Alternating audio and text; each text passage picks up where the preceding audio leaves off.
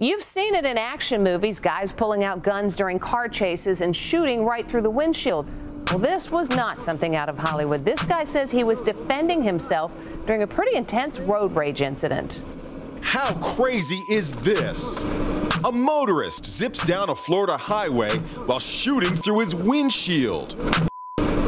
Shards of glass fly as his passenger freaks out. The shooter, identified as Marco Mazzetta, says he was defending himself in a wild case of road rage. Moments earlier, he says he brake checked another driver in a Nissan he thought was tailgating him, causing the other driver to bump him from behind.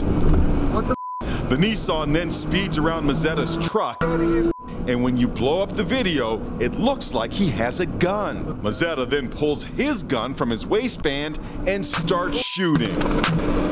The whole incident lasts about eight minutes before the Nissan drives off.